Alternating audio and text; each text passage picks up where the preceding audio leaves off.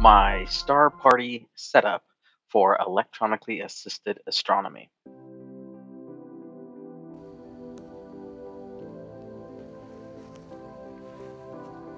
Here is my Celestron CPC 1100. This is an 11 inch computer controlled telescope.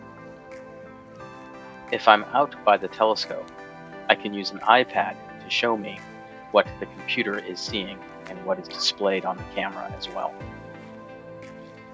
In the box with the red top, I have a mini PC as well as a 100 amp hour battery and all the appropriate electronics.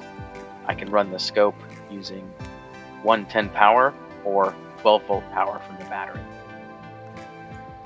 The red cylindrical item at the back end of the telescope is the dedicated astronomy camera telescope is also sitting on top of the tripod using what's called an equatorial wedge.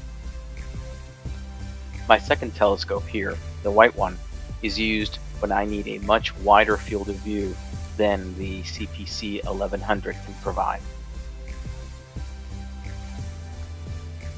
And here is my light-proof shelter, where I control the telescope and view the images coming off the camera through the computer screen.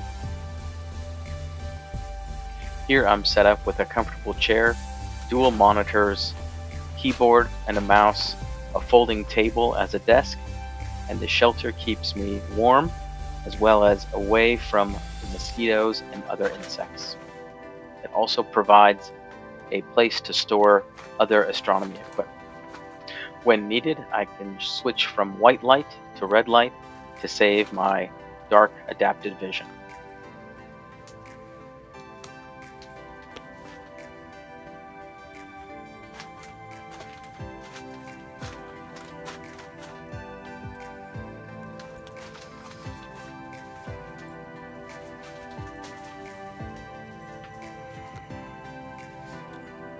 Here you can see me manually slew the telescope from the computer.